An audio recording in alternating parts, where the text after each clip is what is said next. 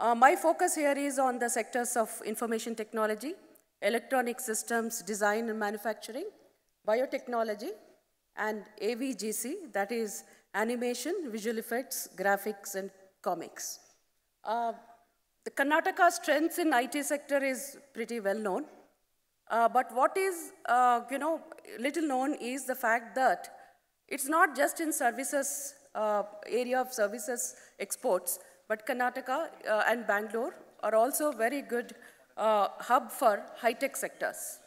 In the recent times, uh, whether you talk about cybersecurity, big data analytics, or Internet of Things, a lot of work is being done here from startup, by startups and also by the multinational companies. The presence of huge talent, which is uh, also you know, focused on high-tech sectors, has led to uh, many multinational companies opening their global innovation centers in Bangalore, in Karnataka. But when I'm speaking about IT, I also don't want to focus just on Bangalore. If you go to Hubli today, you find very good companies which are working for uh, multinationals like Texas Instruments established there. So there is a very vibrant and thriving ecosystem of startups also in the two-tier cities. Similarly, in Belgavi is making a name for itself in aerospace related, uh, you know, electronics related to aerospace and defense. Uh, so far as the opportunities in both electronics and, um, and IT are concerned, in information technology, we now want to go to the next stage. So the focus is on the high-tech areas, and the focus is also very much on electronics, making in Karnataka. And to that, uh, you know, end, government of Karnataka is also setting up common instrumentation facilities, not just in Bangalore, but also in many two-tier cities, so that from services, while focusing and retaining our strength on that, in, in that area, we also move into electronics manufacturing. The kind of collaborations we see is between institutions, um, especially in terms of in R&D work, in student exchange, internship opportunities, and also, and this is very important, a lot of MSMEs and startups from uh, Bangalore, Karnataka are looking for go-to-market opportunities elsewhere. So we need associations and businesses um, which may be led by NRIs to provide that opportunity, that, that platform for startups and uh, you know, MSMEs here to bring them in touch with similarly interested groups in the other uh, you know, countries. We are also looking for launch pads or landing hubs for startups and MSMEs, and we are also willing to provide that opportunity to startups and MSMEs from other countries.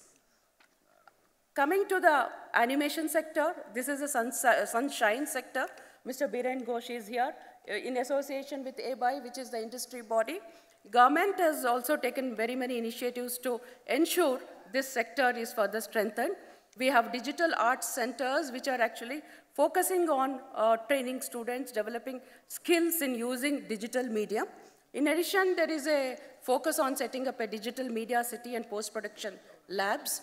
Um, many of you may know that whether you, when you talk about any Oscar nominated or a, a film that has won like Life of Pi or Jungle Book or any other visual effects, uh, is, uh, you know, movies or games or comics, there is always some part that belongs to Bangalore. And uh, this is the sector which we want to promote much because here the opportunities for creating employment in two-tier cities is vast. So we are looking for collaborations here, especially from hubs which are very good in animations. And in our draft AVGC policy, which, is, which will be shortly finalized, we are also looking at providing production grants for international productions. So if there are MNCs and uh, companies which would like to uh, use the skilled manpower here and provide and make either animation or uh, visual effects or gamings or comic related output, there, there is a production grant that would be made available to them through the state government.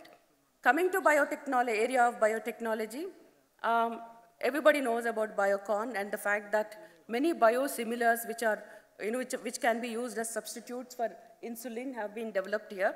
But little known fact is that we have Navya Biologicals in Hubli, which is also doing wonderful R&D work.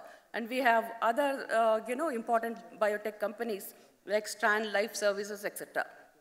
In this context also here, Uh, we are looking at collaborations. Recently, we had um, entered into a memorandum of understanding with The Hague, which focuses on technology, uh, genetic research, and also in providing opportunities for startups, and also in uh, you know related uh, activities. So we are open to collaborations with biotech hubs in other parts of the world, especially focusing on uh, agricul- bioagriculture and you know other also biopharma, but with mo- most focus on agri-bio and even including animal biotech and marine biotech. Uh, to that uh, end, we have also set up um, in collaboration with the universities, in collaboration with the veterinary university in Bidar, uh, animal uh, you know, incubator, which is focusing on animal biotech is being set up. Similarly, in agriculture in, uh, universities, we are setting up incubators which are focusing on agri-bio. So there is a lot of R&D also which has been developed by these universities, which is being commercialized through these technology business incubators. So these are the areas where we would like to uh, invite collaborations from all of you here.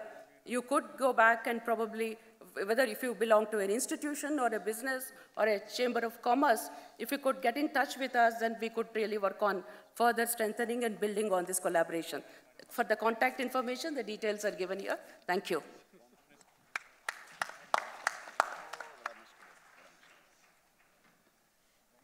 That was Ms. V. Manjula, Additional Chief Secretary to the Government, Information Technology, Biotechnology, and Science and Technology Department, Government of Karnataka, looking at something that is in the very DNA of the state. How about higher education? What is that investment scenario looking like? Maybe a good idea to ask this 1985 batch IAS officer of Karnataka cadre who holds a post of the Additional Chief Secretary of Education Department in the Government of Karnataka. I'm speaking about Mr. Bharat Lal Meena, is the Principal Secretary of the Urban Development Department and Commissioner of the Brihat Bengaluru Mahanagara Mr. Meena is a postgrad in political science as well as in rural development. Mr. Meena.